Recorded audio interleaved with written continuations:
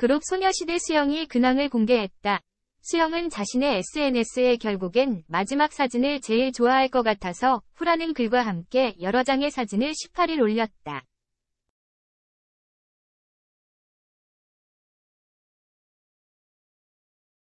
공개된 사진 속 수영은 화사한 미소를 짓고 있다.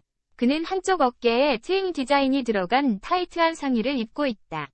수영은 여기에 넉넉한 핏의 카키색 카고 바지를 매치해 패션 센스를 뽐냈다.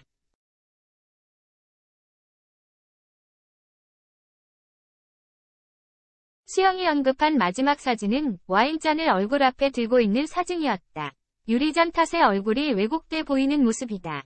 팬들은 수영의 예상대로 마지막 사진에 열광했다.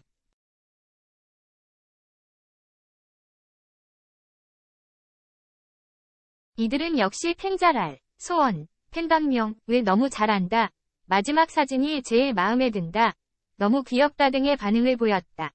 수영은 2007년 그룹 소녀시대의 싱글 1집 다시 만난 세계로 데뷔했다.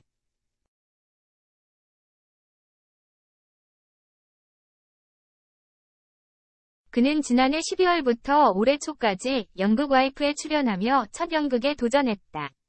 지난 5월 방송 SBS 예능 명곡 챔피언십의 MC를 맡기도 했다.